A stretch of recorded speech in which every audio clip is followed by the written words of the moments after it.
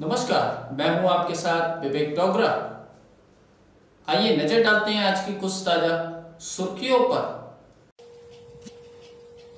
गोरखपुर से लखनऊ जा रही जनरथ बस पलटी। गाय को बचाने की कोशिश में रोडवेज़ की जनरथ बस हुई भीषण हादसे की शिकार। बारह लोग घायल। महिला कंडक्टर समेत चार की हालत गंभीर। उत्तर प्रदेश की राजधानी लखनऊ से सटे ज़िले बाराबंकी में आज रोडवेज़ की जनरथ बस भीषण हादसे का शिकार हो गई है। गोरखपुर से लखनऊ जा रही थी। कैसे हो गया हादसा? कुछ जानकारी हुई? कैसे कि बस पलट गई? क्या हुआ? गाय आ गई थी अच्छा गाय आ गई थी। नाम है? आप कंडक्टर हैं। कैसे घटना हो गई कुछ सम पट्टी करवा दो खून बह रहा अच्छा अच्छा। तो ये गाय आ गई बचाने के चक्कर में हुआ क्या?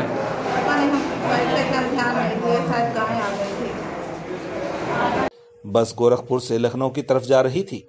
जानकारी के मुताबिक बस में करीब 20 यात्री सवार थे। इस हादसे में कुल 12 लोग घायल हुए।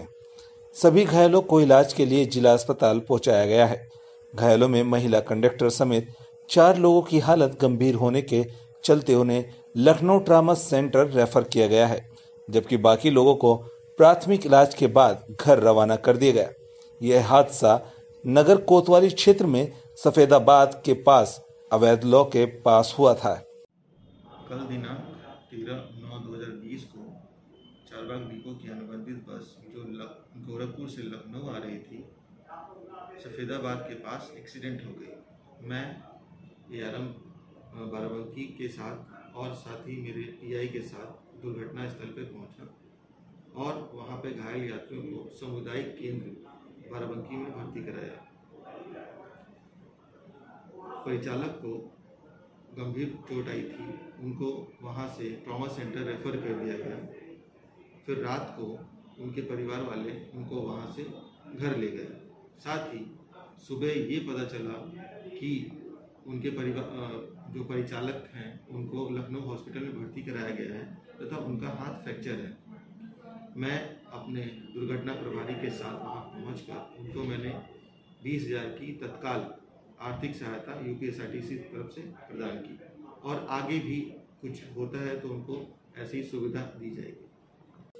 यह हादसा रास्ते में आई एक गाय को बचाने की कोशिश में हुआ है। बस पर सवार यात्रियों ने बताया कि तेज रफ्तार बस के आगे अचानक एक गाय आ गई। जिसे बचाने के लिए ड्राइवर ने बस को बाई तरफ़ काटा, लेकिन तेज रफ्तार और रोड किनारे बस उतरने के चलते ड्राइवर का संतुलन बिगड़ गया और बस पूरी तरह से पलट गई। लखनऊ से प्रत्युष गुप्ता, ब्यूरो चीफ की रिपोर्ट प्राइमेटी न्यूज़।